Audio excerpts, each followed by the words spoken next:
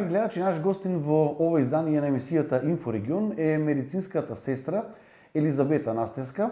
За сите оние кои што не ја познаваат, Настеска е првата медицинска сестра од Македонија која чие што писмо или едукативен текст посветен на Флоренс Найтингел, односно жената основоположник практично на оваа професија медицинска сестра во светот, Незиното писмо пред две години беше објавено на интернет страницата на Меѓународниот совет на медицински сестри. Тоа беше пред две години, за време на, да речем, екот на пандемијата на COVID-19. Две години потоа ситуацијата е далеку порелаксирана од тој период кога го правевме првото интервју со вас токму посветено на ово писмо кое што вие го испративте. Чест ние што повторно сте денеска ви благодарам наш за поканата, ви благодарам што секогаш сте за здравствените работници, што секогаш ја следите нашата работа. Мило ми е што еве после две години, значи повторно ќе позборуваме околу ова и околу други теми. Токму така, тема на оваа емисија и на ово второ интервју за, за порталот Инфокомпас ќе биде повторно медицинската професија, односно професијата медицинска сестра.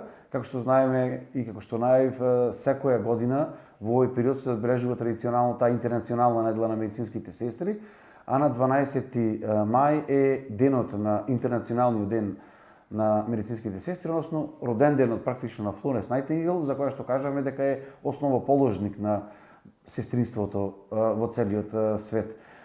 И ова година и во Македонија кај нас имаме активности, Па што ќе одбележува интернационална? Пак интернационалната недела се одбележува значи секоја година почнувајќи од 5 мај со денот на акушерките, па се до 12 мај денот на медицинските сестри.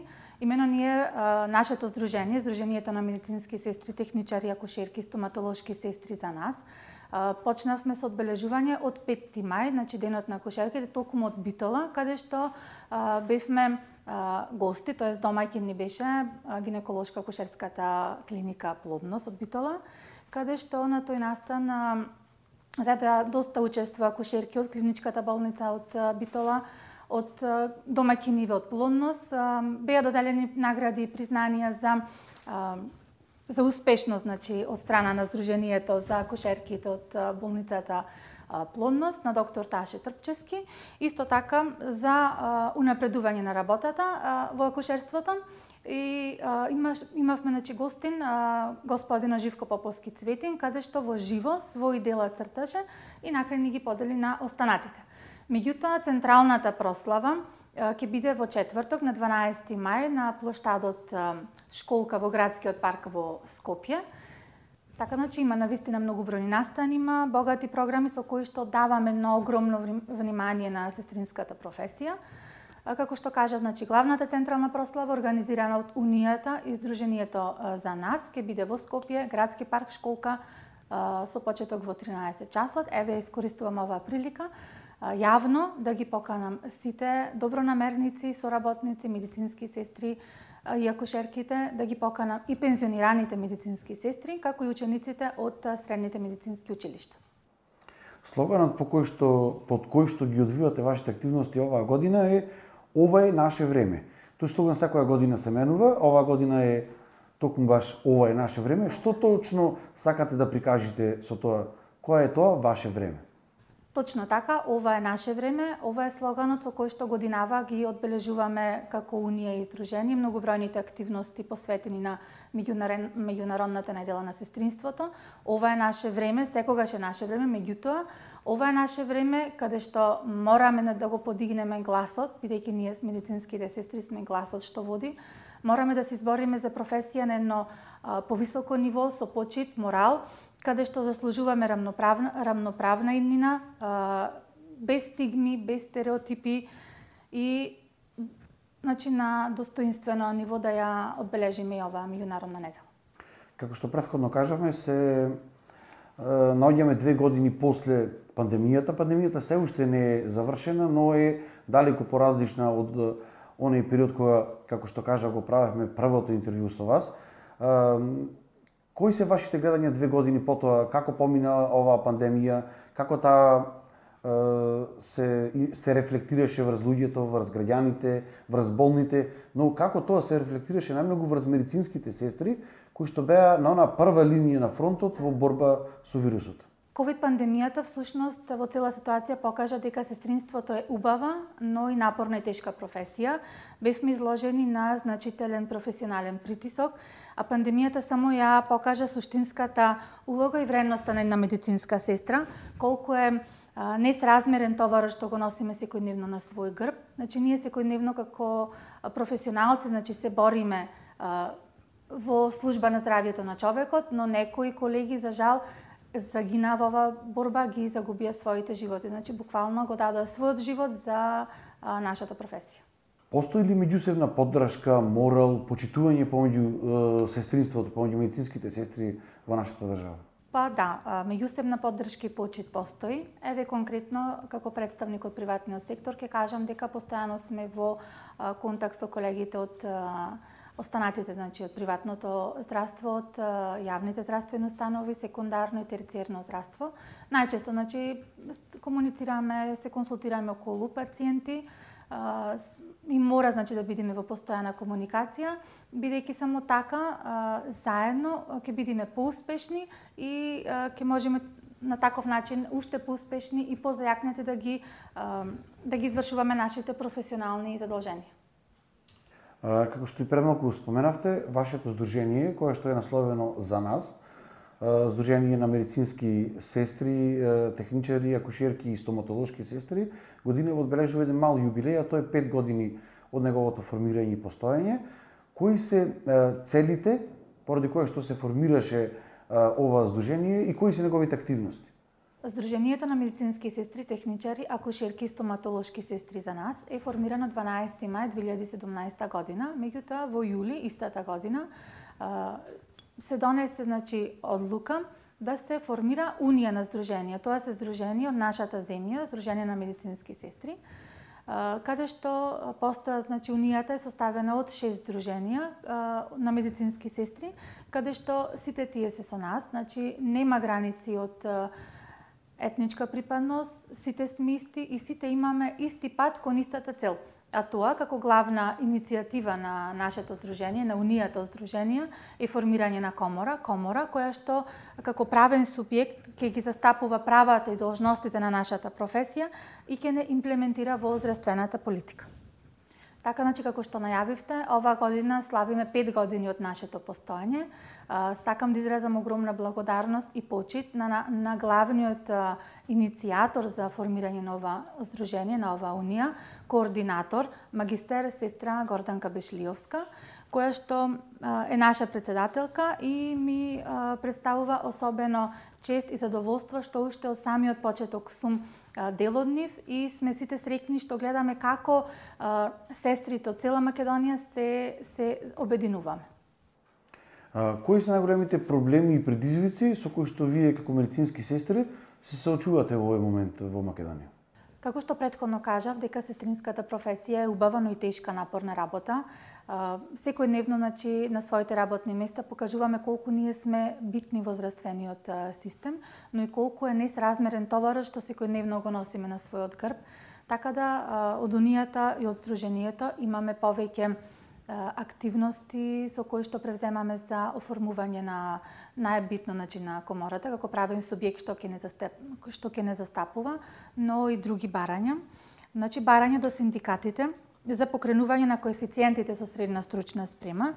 Еве јас значи како представник од приватниот сектор, значи да има еден унифициран договор за сестрите во приватното здравство и концесионерството, каде што сите по еден условно, значи по еден договор, ќе бидат ангажирани на работа. Бидејќи сега функционираме сите поединечно, значи секој работодавец си прави договор сам за себе, тоа не е ништо страшно, меѓутоа да не дозволиме да бидат на некој начин деградирани и сестрите од приватното здравство и концесионерите. Унијата, значи, тоа бара за да го направи и се надеваме дека во блиска иднина ќе го решиме овој проблем. Значи, исто така пресметките за лични доходи, за додатоците за плата и за се она што се случува во здравствените институции на сите нивоа, да биде усогласено по една рамка за сите исто. А тоа значи, значи дека во секоја болница и празникот и дежурството, сатницата, да се наплаќаат по по една, по една рамка, да не бидат обесправени и деградирани сестрите во јавното здравство.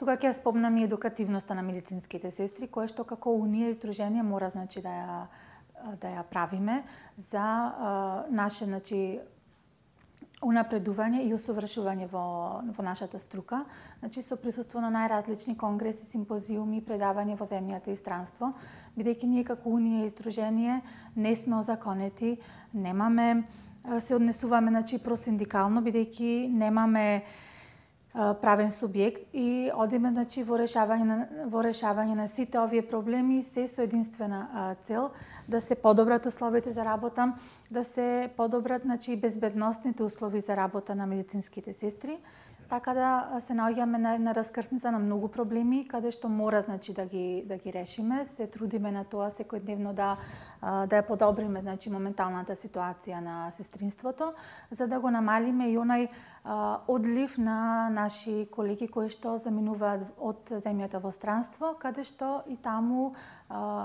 има дефицит значи на медицинска сестра профил го спомнавте одливот, моментално на вистина е голем, голем дел од вашите колеги својата иднина не ја гледаат за жал тука во Македонија, ја гледаат во странство. Зошто е тоа така пред се и како да се стопира ево овој тренд на масовно заменување на медицинските работници меѓу кои се и медицинските сестри во странство? Значи точно за жал, значи медицинските сестри се повеќе заминуваат во странство. Тоа е значи не само глобален проблем, туку проблем кој што за жал го имаме и тука кај нас. Имено Светска здравствена Светската здравствена организација проектираше дека до 2030 година ќе има недостаток на околу 9 милиони медицински сестри. И тоа е значи глобален дефицит кој што и ние како тренд го следиме. Значи за жал И затоа ние како здружение постојано се бориме, значи сите овие нешта со сите наши активности да го намалиме овој тренд на одлив на медицински сестри надвор од нашата земја, значи да ги решиме сите проблеми за се да биде онака како што треба, да се избориме за една комора, да се имплементираме ние во здравствената политика, да се избориме едноставно за закон за нашата професија која што ќе стои за нас, ќе ќе предвидува образование, задолженија, како и законски прекршочни одредби. И еве за крај на овој интервју, која е вашата порака, која што би упатили до сите идни генерации кои што сакаат да се занимаваат со оваа професија, односно во иднина да бидат медицински сестри? Така, значи сестринството е професија на која што мора да и се да и се посвети должното внимание и која по ничија цена не сме да биде запоставено. Така да е веден апел до идните генерации, оние кои што се уште размислуваат каде би го продолжиле своето образование. Значи само ќе кажам дека ние сме најбројната позитивна снага на на здравствениот систем.